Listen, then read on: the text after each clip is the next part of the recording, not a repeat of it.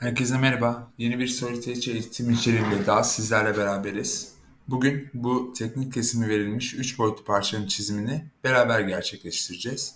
Önce New kısmına tıklayıp izometrik part dosyası açıyorum. Daha sonra önce şeklimin ön görünüşünü halletmeye çalışacağım. Ondan sonra da bu üstteki kısmı halletmeye çalışacağım. Zaten adımları detaylı bir şekilde göstereceğim. Öncelikle şu alttaki dikdörtgensel kısmı oluşturmak istiyorum. O yüzeyi. Rectangle by two points komutuna tıklıyorum. Daha sonra front kısmını sabitliyorum. Kilit tuşuna basıp. Ctrl H ile düzlemimi karşıma alıyorum. Daha sonra 65'e 15'lik bir dikdörtgen çiziyorum. Enter'da da onaylıyorum. Daha sonra line komutuma elim alıp dikdörtgen sol üst köşesinden yukarı doğru 13 birimlik çıkıyorum. Enter'da onayladım. Daha sonra line komutun içindeyken A tuşuna basıp veya arc kısmını type kısmından seçersek eğer yeni bir eğri oluşturabiliriz. Burada 15 yarıçapı ve 90 derecelik tarama açısıyla bir adet eğri oluşturuyorum. Enter'da onaylıyorum. Sol tıkımla işlemden çıkıyorum. Aynı şekilde 13 birimlik dikdörtgenin daha doğrusu 13 birimlik çizginin alt kısmından sol, sağa doğru 12'lik ilerliyorum. Enter'la onayladım. Daha sonra yukarı doğru 13 çıkıyorum. Sol tıkımla onayladım. Ve A tuşuna basarak eğri moduna geçiyorum ve 27 yarı çapında 90 derece tarayacak bir adet eğri oluşturuyorum. Sol tıkımla onaylıyorum. Eğrinin ucundan 20 mm sola doğru düz bir şekilde ilerliyorum. Aşağı doğru 12 mm geliyorum. Enter onaylıyorum ve sağa doğru 20 mm daha gelip noktaları birleştiriyorum. Extrude komutuma tıklıyorum. Önce alt düzlemi seçiyorum. Sol tıkımla sağ tıkımla onaylıyorum. Simetrik bir şekilde 100 mm derinlik veriyorum. Aynı şekilde bu sefer de üst kısmımı seçiyorum. Sol tıkımla sağ tıkımla onaylıyorum. Ve 40 mm derinlikte buraya veriyorum. Daha sonra round komutumu elime alıyorum.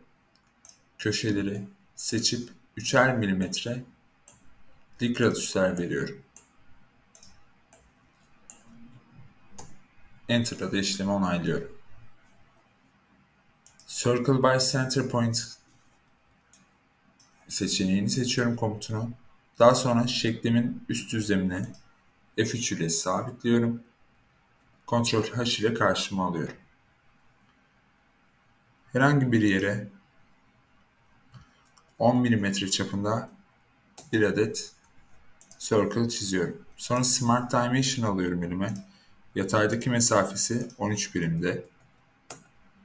Dikeydeki mesafesi ise 14 birim olan circle'ımı bırakmış bulunmaktayım. Daha sonra line komutumu elime alıyorum şeklin ortasından iki adet line çiziyorum. Bunlar benim aynalama çizgilerim olacak. Daha fazla Smart Dimension'la uğraşmamak için. Burada Construction'a seçeneği seçip bu çizgileri sol tıkımla seçiyorum. Bu şekilde bu çizgiler yardımcı çizgi olarak Solitaire algılayacaktır. Aynalama komutumu seçiyorum. Circle'ımı seçiyorum. Sonra dikeydeki çizgimi seçip onaylıyorum. Daha sonra sağ tıkımla işlemi tekrar edeceğim. Şu iki circle'ı beraber seçiyorum. Ve yataya göre aynalıyorum. Sağ tıkımla da işlemi onaylıyorum.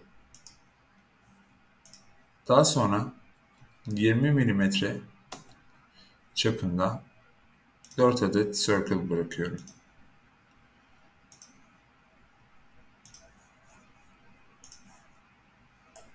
Extrude komutuma geliyorum. Burayı chain olarak ayarlıyorum. Cut seçeneğini ayarlıyorum. Ve bu 4 adet küçük 10 mm çapındaki circle'ı seçiyorum. Ve işlerini boşaltıyorum. Daha sonra tekrar extrude komutuma geliyorum. Yine chain olarak seçile. Cut şeklinde ve simetrik istemiyorum. 4 adet 20 mm çaplık dairemi seçiyorum ve aşağı doğru 4 mm geliyorum. Bu şekilde şeklimin ilk hali hazır oluyor. Daha sonra şeklimdeki şu kısmı çizmek istiyorum. Buranın çapı, yarı çapı daha doğrusu 95 mm'ymiş. Ondan dolayı Arc by 3 Points komutunu seçiyorum. Referans düzlemlerimi aktif hale getiriyorum. Ve Front düzlemini seçiyorum. Ctrl H ile karşıma alıyorum.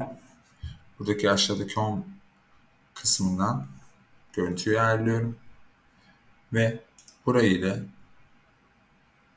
buranın arasına 95 mm çapında, yarı çapında bir adet eğri bırakıyorum. Daha sonra Project to Sketch komutuma tıklıyorum. Ve buralara sol tıkla seçip sağ tıkla onaylıyorum. Trim komutumu ile elime alıyorum. Buradaki fazlalıkları buduyorum. İşime yaramayacak. Çizimimi engelle, engelleyebilecek. Kontrol ile geri alıyorum. Bir adet fazla budama yaptım.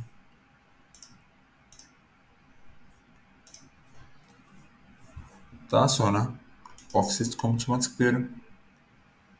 Buradaki şeyini seçiyorum. Ve içeri doğru 7 mesafesine geliyorum.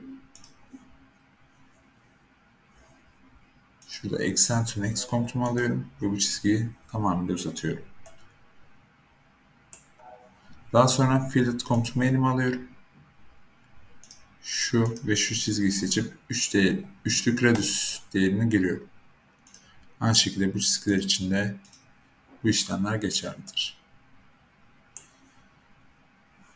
Daha sonra extrude komutumu elime alıyorum ve simetrik bir şekilde 5 milimetrelik bir derinlik veriyorum. Project to Sketch'e tıklıyorum. Front plane'imi seçiyorum. Ve bu düzlemi sketch haline getiriyorum. Daha sonra tekrar Extrude komutuma geliyorum. Chain'i face haline getiriyorum. Ve bu şekilde face seçiyorum ki iç kısmı boşluk olarak kalsın. Simetrik bir şekilde totalde kaç milimetre Hemen tekrar bakıyorum. 12 mm. Tekrar extrude komutuma geliyorum. Ve simetrik ve 12 mm'lik bir derinlikte kısmında çizmiş oluyorum. Daha sonra Constant Plane kısmına geliyorum. Bu istek plane'imi seçip aşağı doğru total derinliği 12 iken 6'lık bir düzlem oluşturuyorum. Burada önce base referans plane'lerimi kapatayım. Bana engel olmasın seçiminde. Ve gördüğünüz gibi tam ortasındaki düzlemi seçmiş oluyorum. Ctrl H ile burayı karşıma alıyorum. Ve tam şu noktadan bir 40 çapında bir adet 30 çapında ve bir adet de 20 çapında 3 tane circle çiziyorum. Extrude komutumu elime alıyorum. Face seçiliyken şu kısma tıklıyorum. Ve et katı et haline getiriyorum. Buraya 32 milimlik derinlik tanımlıyorum. Daha sonra tekrar extrude komutumu seçiyorum. Burayı tekrar et haline getiriyorum. Ve 22 milimetrelik bir derinlik kazandırıyorum. En sonunda da extrude komutumu elime alıp şu içteki boşaltmayı tekrardan gerçekleştiriyorum. Evet burada dimensionları ve sketchleri kapatıyorum. Bu sayede şeklim hazır bir hale geliyor. Bizi izlediğiniz için teşekkür ederiz. İyi çalışmalar dileriz.